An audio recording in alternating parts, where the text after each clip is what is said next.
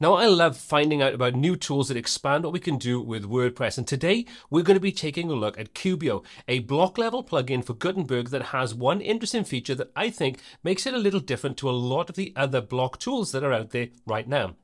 This integrates and plays nicely with full site editing. So if you want to edit template files, you want to edit the various different files inside that full site editing experience, this gives you those options. Now, I'm only going to be taking a look at the free version. There is a pro version that has a lot more features, but we're only going to check out the free version today. If you want to find out more, link will be in the description below. So I've got a clean, fresh install of WordPress. Let's hop over into the plugins and add new. Let's search for Kubio. And let's go ahead and install this. As you can see, there's over 10,000 active installs. It's regularly updated and it's getting 4.5 out of 5 stars. So good starting point. Let's activate it. And then if we want to, we can take a look at the two minute video on how to get started. And there's a YouTube channel with a range of different videos on Kubio to explain how to do various different things. I recommend checking those out if you want to find out more. For us though, we're going to just simply hop into the starter sites first of all and kind of set something up so we've got something to hit the ground running with. We can, if we want to, preview any of these. We can try them online. So if we want to click to preview, that will give us a demonstration of the site, at which point we can have a quick look through, see if we like the look of it. If we do, we can go ahead and install it. So I like the look of this one, that that's pretty good.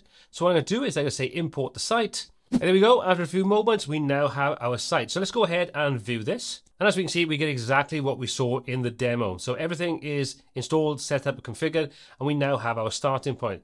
This isn't just one page though, we have additional pages like services, team, and so on. So all these are already created for us and all the assets are downloaded.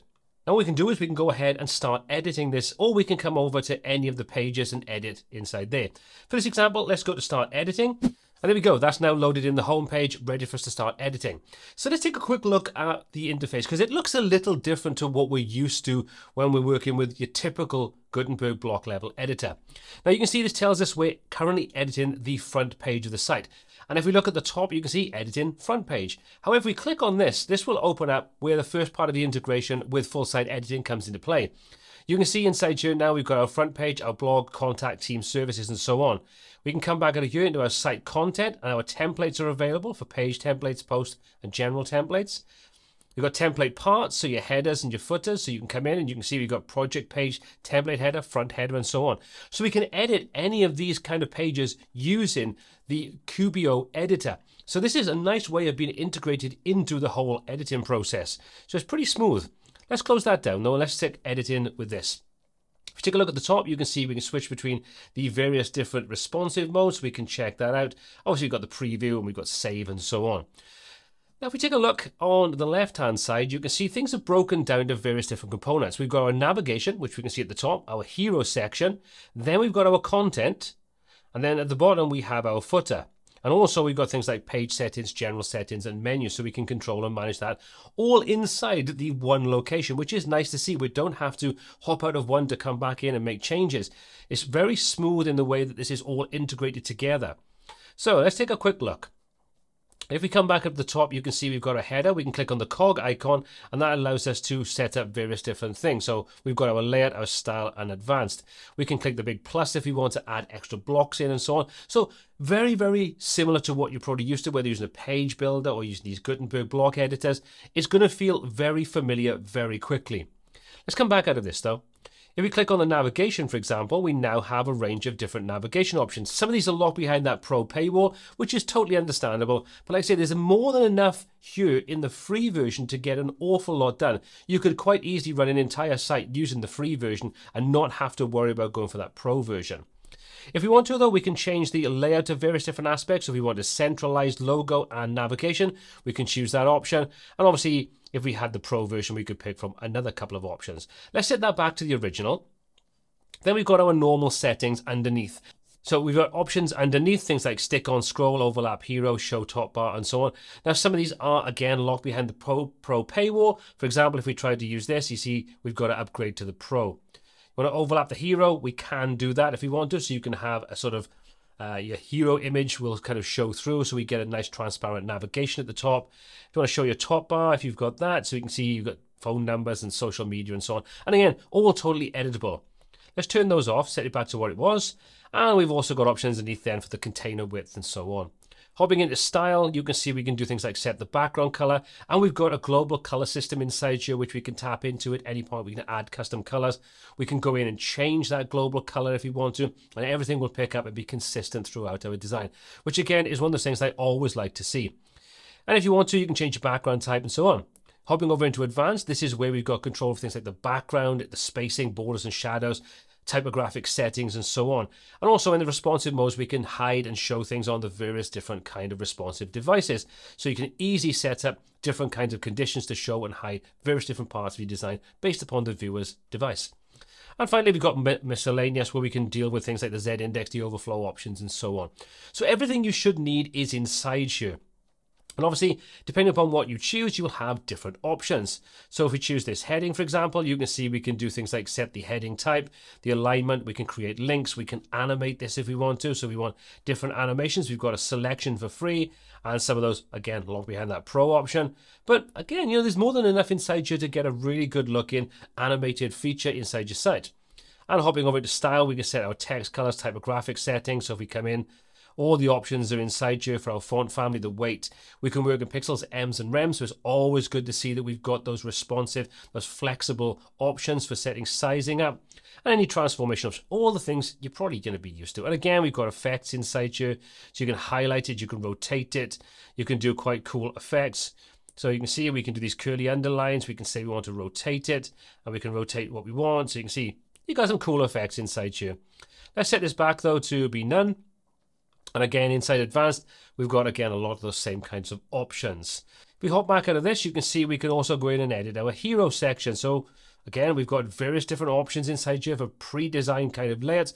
So if you use something like Stackable, where you've got these kind of pre-designed kind of setups for various different parts of the design, this is again going to feel very, very familiar to you. Okay, so we've got all these different kinds of options, and you can see we can break things out into the various different sections. We've also got a very comprehensive templates gallery.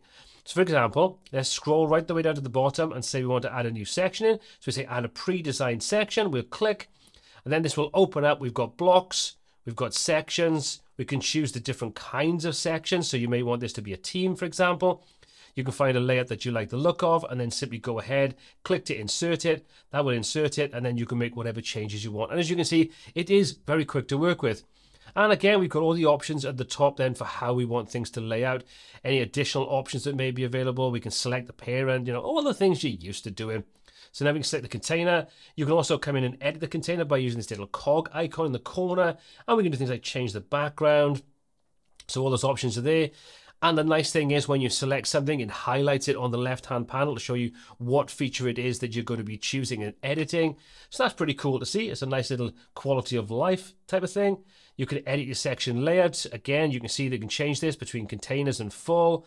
We've got spacing options. We can overlap the section if we want to, so you don't have to play with negative margins if you're not comfortable with that. And again, you've got your style options, again with global colors, your advanced options, and so on. So all the things you should need. If you want to go ahead and create a blank section, you can click and you've got your pre-defined layouts inside there, which are, again, fully editable. So we can select that. You can come over, you can choose the options. You can see we've got our background, our dividers. We can choose the hover effect, the different layouts we've got. We want to have spacing options on there, any entrance animations. So there's an abundance of things here, I think is what I'm kind of getting at. Now, if we move down to things like the page settings, general settings, and menus, this is where we can control things globally. So page settings, for example, we can set featured image, we can allow comments. So again, this means we don't have to hop out of this page or post into the actual normal WordPress editor to set these things or disable them if we've forgotten. We can actually do it directly inside here. And again, if we come down to the general settings, this is where we've got those options you'd see inside the customizer. So things like type, site identity, typography, form elements, color schemes. And this is where I was talking about earlier on. We've got our color scheme, for example. If we want to change this, we can choose something different and it updates the color scheme accordingly. So you can see we can very quickly edit those. We can also come in and add our own custom colors should we want to and choose whatever we want from there and we can choose the various different kinds of modes. So you want your hexadecimal, your RGB, your HSL. And you can also set things up like standardized global spacing and those kinds of things. So this is kind of what you're getting with this particular plugin. Like I say, I think there's enough inside here to get creative. You can do pretty comprehensive designs with animations, with global colors and styling and typography.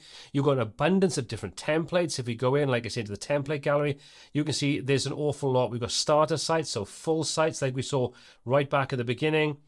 You've got pages if you want to pull these in.